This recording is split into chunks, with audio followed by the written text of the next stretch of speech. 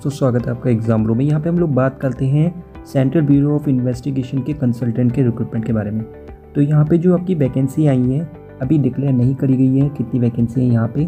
तो इसको आप लोगों को बता देता हूँ, इसको आप लोगों को अप्लाई करना है। कंसल्टेंट की जॉब है दोस्तों, ग्यारह अक्टूबर इसकी लास्ट डेट है अप्लाई करने की। यहाँ पे आप लोग देख सकते हैं, ग्यारह अक्टूबर इसकी लास्ट डेट है, ठीक है? इसका नोटिफिकेशन ऑफिशियली रिलीज़ हो चुका है, आप लोग चेक कर सकते हैं। वीडियो के डिस्क्रिप्शन में मैंने लिंक दे रखा है।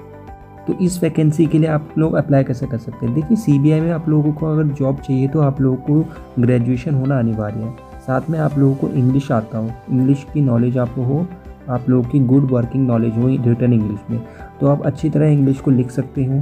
ठीक है डिस्क्रिप्टिव राइटिंग आपकी अच्छी होनी चाहिए। इसके साथ यहाँ पे आपका जो बोर्ड है, वो ये देख रहा है कि यहाँ पे जो एक्सपीरियंस भी मांगा गया है, दस साल का एक्सपीरियंस मांगा गया है। इन्वेस्टिगेशन और प्रोसेक्शन और क्रिमिनल केसेस में, ठीक है कोर्ट ऑफ़ लॉ में।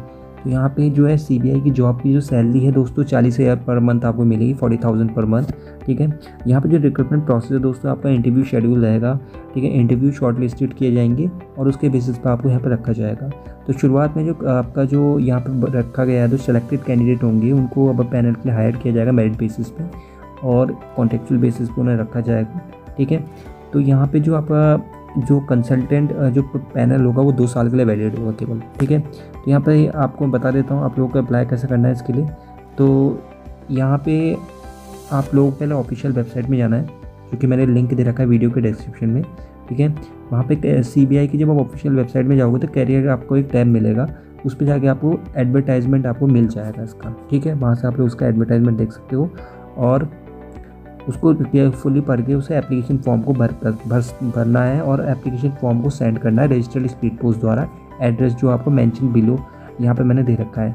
इस एड्रेस पे आपको दे, भेजना है जो कि आपका joint director of head zone CBI central bureau of investigation Delhi zone fifth B tenth floor B wing यहाँ पे आपको भेजना है, ठीक है? सीजीओ कॉम्प्लेक्स इस पते पे आपको टोटल आपको इस पूरे पते पे आपको इसको भेजना है अपना एप्लीकेशन फॉर्म को।